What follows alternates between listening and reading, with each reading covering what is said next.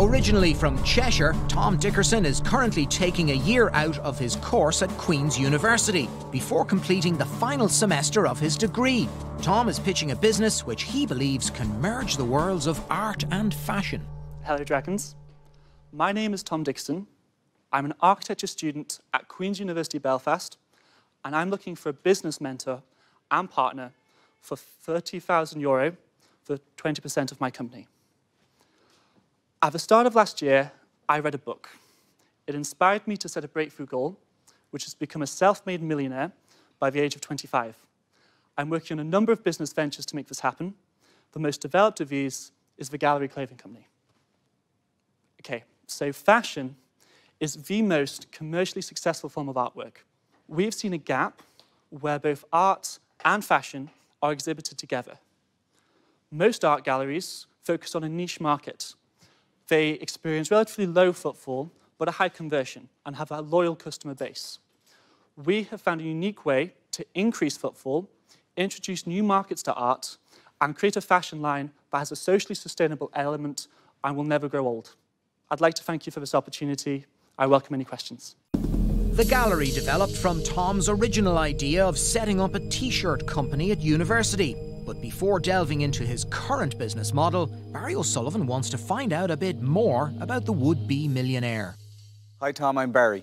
Hi there, Barry. So, what's your story, Thom? Uh, where are you from, and what exactly are you doing in Queens with the business? Okay, so I'm originally from Cheshire in England, but my dad and his whole side of the family is from Belfast. So it was kind of logical in a way to kind of go back to the family roots. And architecture is what in school I always thought I wanted to do. It was at the start of last year that I started to kind of reassess what I wanted to get out of life. And as such, I looked at entrepreneurship. I approached the business unit within Queen's, and with their support, I've kind of got to where I am today, which I never would have thought would have happened like 12 months ago. So, Thom, Peter. Hi there, Peter. I'm still confused about what your business model is. Okay, we're going to sell art and fashion in the same store the art is going to be at a price point which will actually be encompassed by the kind of fashion we sell, essentially. It's all going to be together.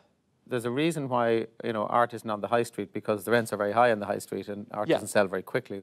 I'm not sure that, how they could be combined. See, that's the situation we, which we identified. Um, we know if we tried to do a standalone art gallery in a high street, it would fail. Um, we, through our research, we found that there are actually art galleries near to the high street in Dublin and often what they actually do is they sell art at a lot more of an affordable price. It's this kind of a business model we look to follow, and that's why it suits us to invest in young artists. As you see with your pieces, you get the information about the artist. You know who it is who designed it, you know their name, where they're from, what they're trying to do, and what they're trying to say. Thom reckons the advice he's received from the business unit in Queen's has been invaluable in developing the gallery, but it seems a former Queen's student is also aware of the young man. Thom, we've met briefly before. Yes, I met you at Queen's, so. Yeah, I did a mini Dragon's Den thing for uh, Queen's University. That's where I met Thom, but we did. I knew nothing about the business element or. There's no insider information. I was there supporting a friend. Certainly actually. hope not. mm -hmm. Thom, um, I really like the uh, the logo um, and the branding on it. It's very. It would appeal to me. How many artists have you got on board at this stage? We've chosen six at this stage because the idea would be not to dilute it.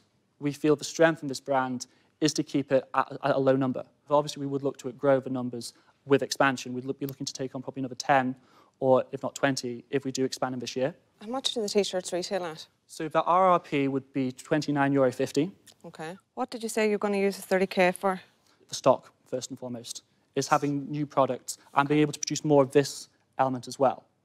Thom, you need to put a lot more focus in what it is you're going to do and where your revenues are going to come from. I'm out. Okay. An unceremonious exit from Peter Casey. Thom has chosen a notoriously fickle area in which to build his business, and Barry O'Sullivan also has some concerns.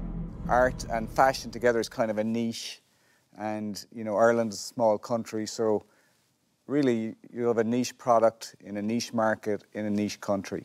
I'm out. Okay.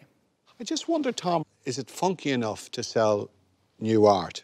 Uh, you know, the T-shirt, you just put the art on it. Whereas I think, you know, in the T-shirt space, if it is, you know, you're a work of art, and then you had the piece of art. You know, it starts a conversation. We have um, a T-shirt actually, which we exhibited at a student fashion show, saying "This is art" on it in a Yeah. box square.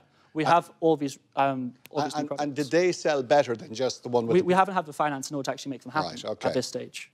Thom, um, I think it's very interesting what you're trying to do with the art. Um, I just think it's not, uh, it's just not done yet. The idea is still in formation. It is too early for me. I'm out. Okay, thank you.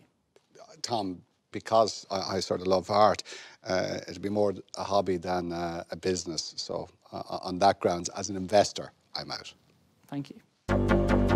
Whatever about his pictures, Thom's hopes are now hanging by a thread.